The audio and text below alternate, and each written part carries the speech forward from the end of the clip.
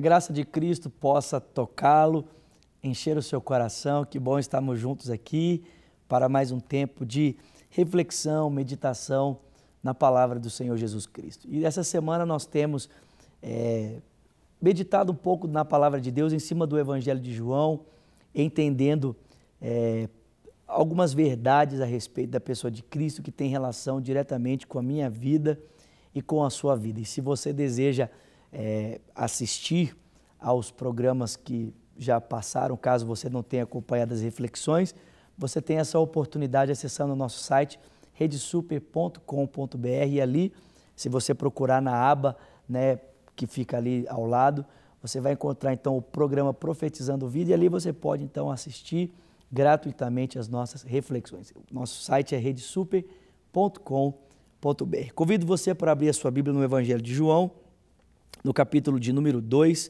O texto bíblico diz: é, No terceiro dia houve um casamento em Caná da Galileia e a mãe de Jesus estava ali. Jesus e os seus discípulos também haviam sido convidados para o casamento. E tendo acabado o vinho, a mãe de Jesus lhe disse: Eles não têm mais vinho. Respondeu Jesus: que temos nós em comum, mulher? A minha hora ainda não chegou. E sua mãe disse aos serviçais: Façam tudo o que ele mandar.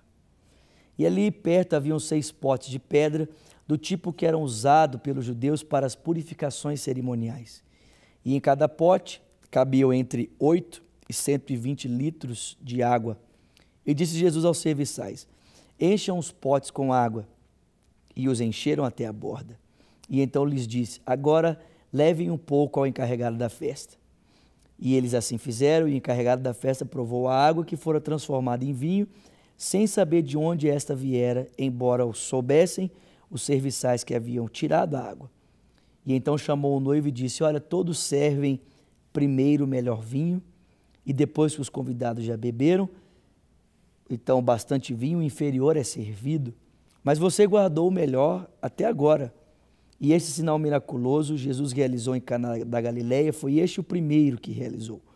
E revelou assim a sua glória, e os seus discípulos então acreditaram nele. Eu sei que você já deve ter ouvido esse texto inúmeras vezes, principalmente se você já participou de uma cerimônia de casamento realizada por um pastor protestante.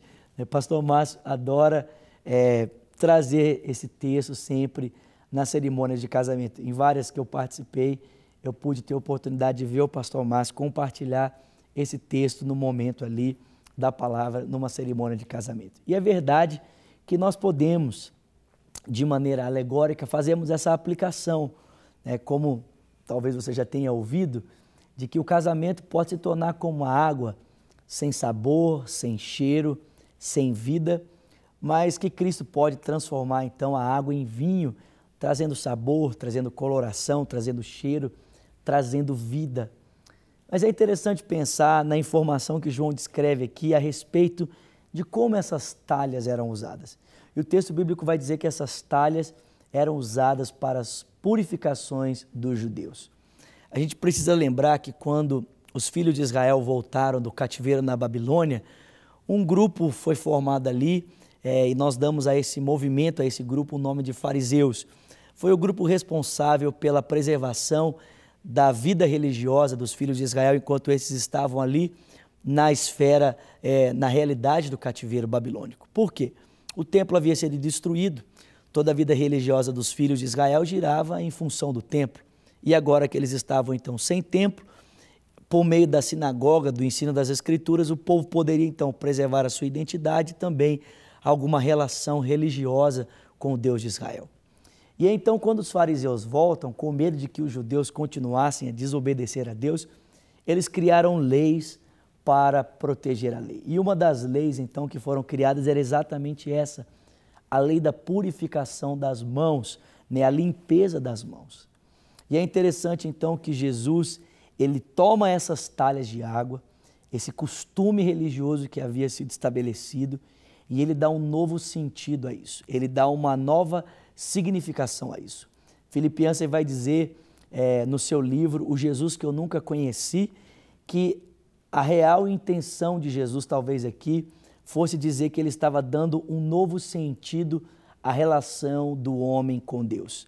Né? Assim como aquele antigo pacto havia passado, aquele modelo antigo havia passado, agora Jesus estava então estabelecendo um novo modelo, uma nova forma. Ele estava significando todas as coisas. Ele estava dando um novo sentido a todas as coisas. Ele estava entrando, né, estava formando conosco, estabelecendo conosco por meio da sua encarnação e da sua vida uma nova aliança, um novo momento, né, um novo modelo para a minha vida e para a sua vida. Jesus pode fazer isso. Ele pode transformar todas as coisas. Ele pode transformar a minha vida, ele pode transformar a sua vida. Ele transformou aquele modelo calcado no esforço humano, né? Agora na confiança do que Deus é que pode, o que Deus pode fazer, o que Deus pode realizar por cada um de nós. Então nós aprendemos isso, né, com esse milagre realizado aqui. Por que, que os discípulos é, terminaram é, acreditando nele? Né? Por que, que os discípulos terminaram crendo nele? O que eles creram?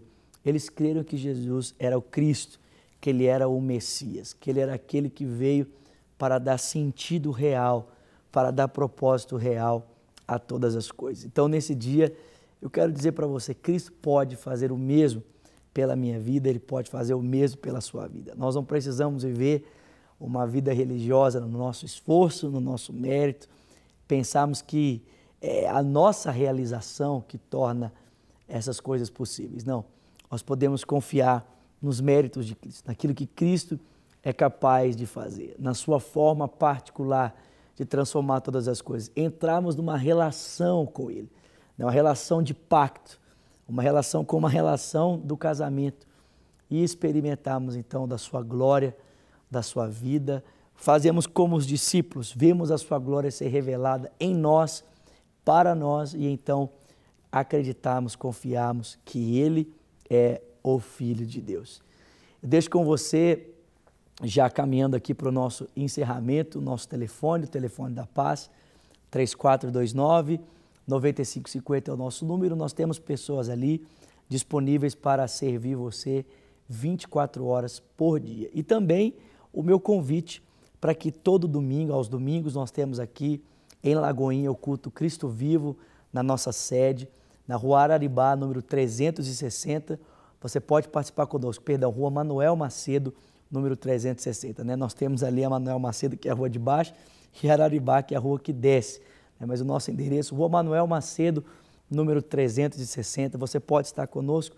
Vai ser um prazer poder recebê-lo, né? para que a gente possa, então, experimentar juntos e provar juntos mais da presença do Senhor. E caso você não possa participar conosco presencialmente, você pode nos acompanhar através do nosso site redesuper.com.br ou através da nossa rádio, Rádio Super 90.1 FM.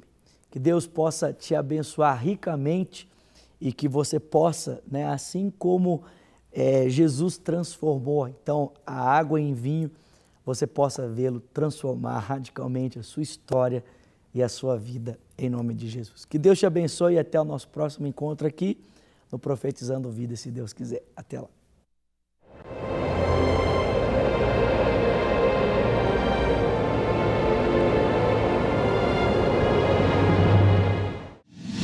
Para receber todas as novidades do canal, inscreva-se e se curtir o vídeo, clique em gostei. Aproveite para acompanhar a Rede Super nas redes sociais.